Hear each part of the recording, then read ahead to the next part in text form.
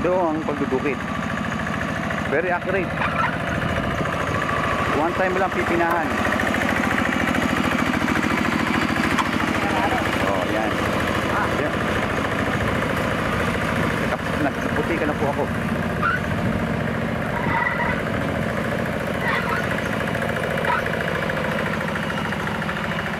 Very accurate dahil kalabaw. After that, araro na po susunod.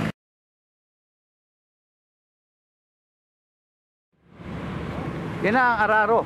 Araro nakasakay. Araro nakasakay. Ah, araro nakasakay. Modified model, ano? Pero may guide siya, ano? Meron. Tapos dalawa lang ang disc flow. Ah. Sabi, sabi kasi ni Kapuroy, po pwedeng apat ang disc flow, walang guide. Pero kaya sabi ko nga na kailangan may guide dahil delikado. Delikado. Very risky. Ano tinatanong mo, Kahaime? Ha? Ano tinatanong mo kanina? Babae, babae. Hindi kasi pagka kayo nagkararo, may angkas na ano yan, babae sa likod. Ayos. ah, nagpapatawa lang po. Naka-align na yung disc hindi pa. Line niya. Pa- Ay, yung isa pa lang. Hindi, nakakapit na. Eh, taas mo, taas mo. Ilang timani gusto mo nakasuot. Teka tayo, di nakasot, di nakasot, di nakasot. Putar kayo na wala tuloy. Putar kayo. Gini. Ah, ano tawag doon, yung pinang bungo.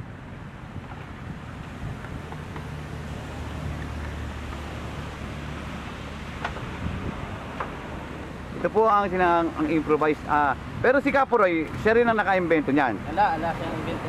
Ah, iba na to. Ikaw naman naka Sarili- ang... ikaw naman naka-invento nito. Si ito po si Ka Eli, yung kasama sa usapan namin ni ah, Ala, ala si Puroy. ni Kapuroy.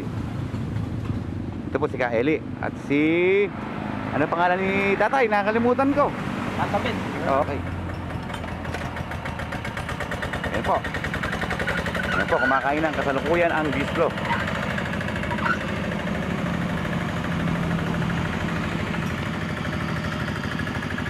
Ganyan ka-productive at ka-effective. Ayan, sumakay na po ang driver. Kahit madamo, pwede, no? Tingnan mo saboy, ano? Eh, Ano, ano? Ang kain. Ang saboy ng lupa niya, oh. Ang ta ano, ano? Saboy. Saboy. Ang galing daw po ng saboy ng lupa. Ginawang ginawa pag nakasakay talaga, may, bakit ba may bandera? Niya yun.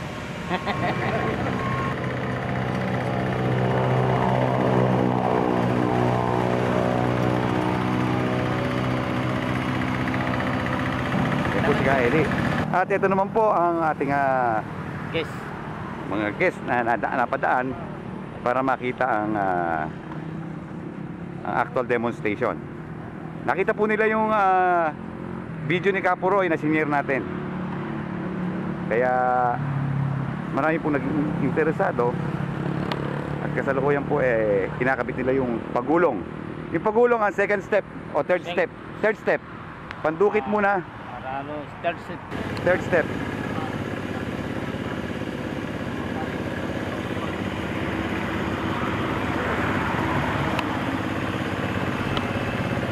Nakita niyo po ang gulong.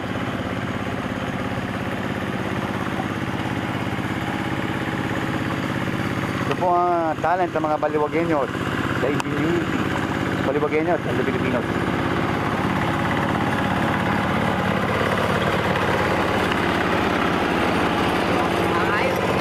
Ayos. Yan ang sinasabi ni Kaeli na safety ang nakaupo. Dahil may mudguard ang mismong pagulong. Go in one.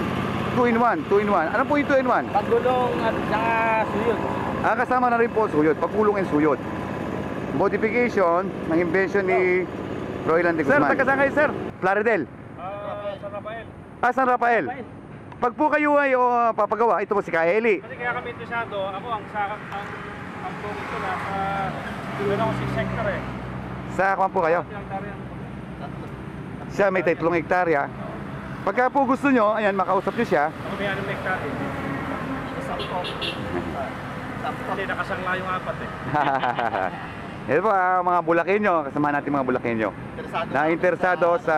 Kung kami, ah, sa, yun din ang business namin, yung pagsasaka. So, Opo. kaya interesado kami dyan sa na-invento ni Ka.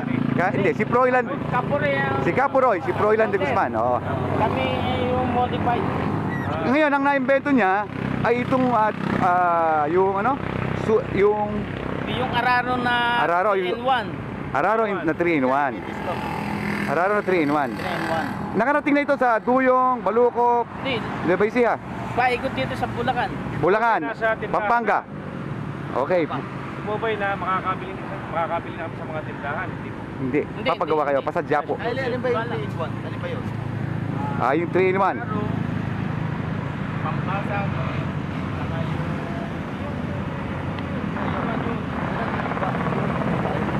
Comfort close pala ng bangko yung sa San Roque. Sir, ano pangalan niyo, sir? Olan, Olan Balmayo. Balmeo at saka si Sir Kasi Francis. Francis Baka Jose. magkanga pa. Eli po. Ito si Gallardo. Gallardo.